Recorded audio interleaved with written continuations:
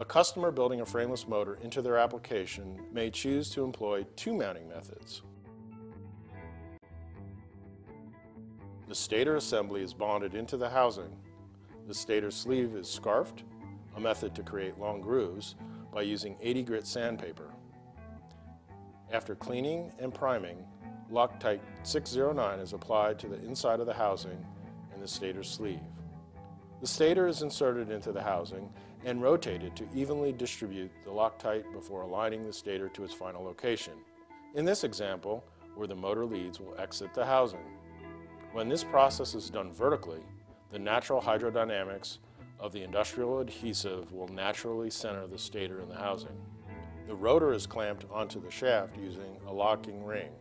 The shaft has been machined to the specifications of the rotor using standard machining tolerances.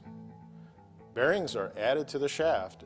The completed assembly is pressed into the housing and is ready for final testing.